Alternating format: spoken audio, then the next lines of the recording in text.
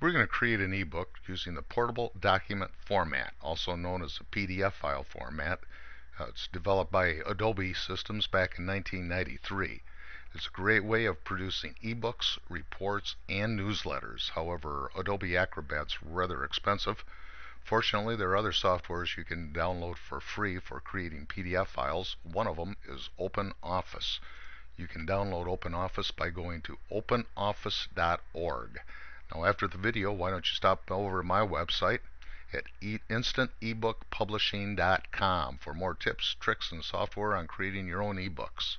So let's take a look at how to create a PDF ebook using OpenOffice.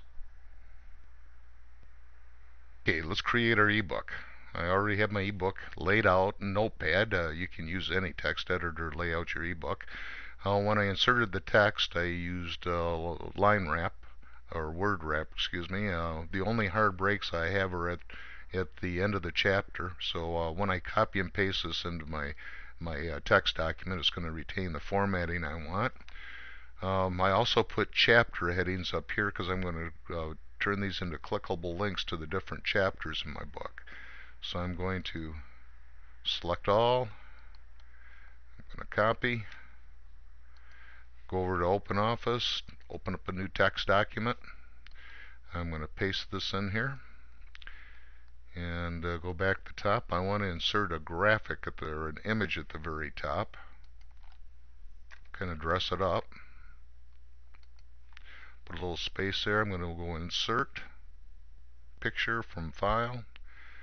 I already have my image all created here and I inserted it there and aligned it center just the way I wanted. Now what I have to do is I have to go to each chapter and I have to create a heading at each chapter, a reference point for my clickable links. So I'll go down to my first chapter. I go to Format, Styles and Formatting. Open this up and then I scroll down to my headings. What I want to do is I want to put my cursor right at the end of the chapter and I'm going to double click on uh, heading 1 for chapter 1. I'm going to scroll down to my next chapter, chapter 2, insert heading 2, and so on through the document. We're going down to chapter 3.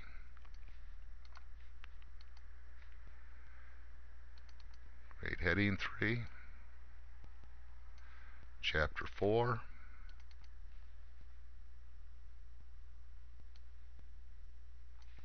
chapter 5. And last but not least, chapter 6. Now I'm done with this, so I'm going to close this out, scroll back to the, the top.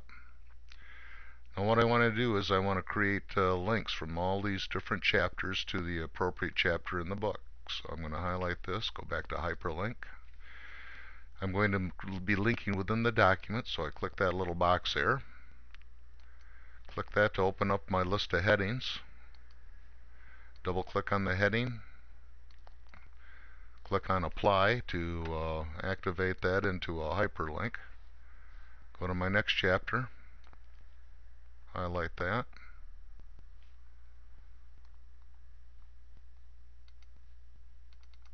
Link that to chapter 2.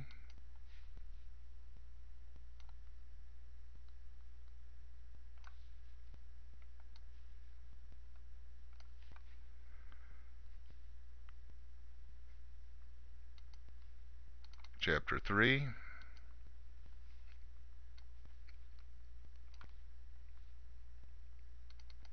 Chapter 4.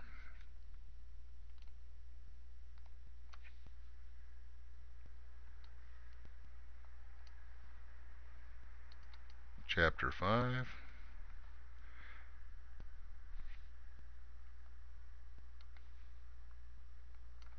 And Chapter 6. I'm double clicking on these settings by the way. Hit apply and I'm done here so I'll close this out. Next thing I want to do is I want to go to the very bottom of the document. I have a uh, some text here I want to turn into a clickable link to my website. And so I highlight it, go up back to the hyperlinks. This is going to link to a web page on the internet, so I click internet. And uh, next thing I want to do is I want to type in my URL.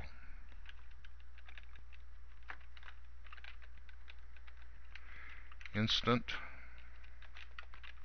ebook publishing.com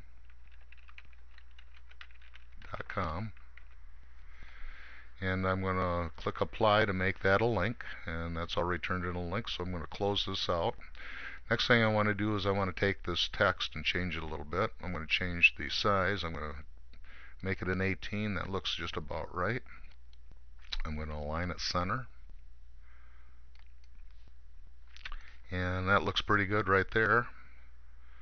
All you want to go over your ebook make sure there are no mistakes in it before you convert it to a PDF file but I'm trying to keep this a reasonable length so uh, I'm not going to do that right now. I'm going to go back to the to the title. I want to change that make it look more like a title. I'm going to uh, increase the font size. Let's try a size 24 that looks pretty good. I want to align that center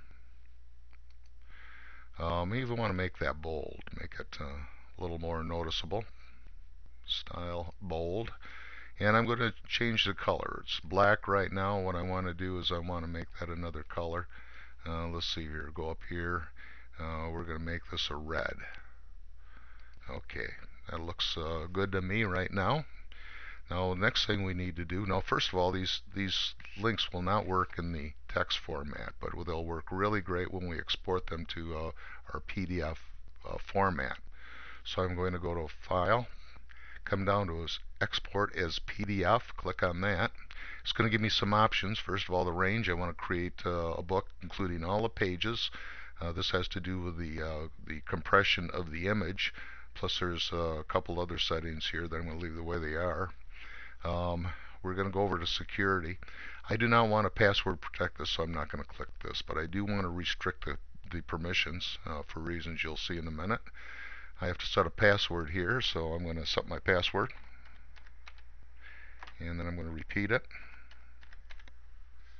Click OK so my password set. This gives me some options here for printing. I want it uh, I want the permitting uh, the printing permitted but I want it at high resolution so I'm going to leave it like that um, I, I don't want people to be able to change my documents so I'm going to leave this. At changes not permitted. And I'm also going to enable copying of text and uh, enable it uh, for access for accessibility tools. Now I'm going to export it. Um, I'm going to export this to my desktop. And I have to put the uh, title in here. Ebook. Publishing secrets and I'm going to save that to my desktop. We're going to close all this other stuff out here and take a look at the desktop. And now there's my new ebook that I just created. I'm going to open this up. As you see, it opened up in uh, Adobe Reader. Um, you'll see the image there, the title, and my index. Uh, let's uh, go on down. We're going to test one of these links uh, by clicking down to to chapter 6 you can see steps to publishing success which is chapter 6 and I'll scroll down the bottom to test out my, my link to my website. There it is right there. We're going to click on that. Allow it to open a new text browser or a web browser. And there you go. There's my uh, my website. Well, I hope this video was uh, helpful to you. And uh, so good luck. Create your first ebook and I'll see you in the next video. Bye now.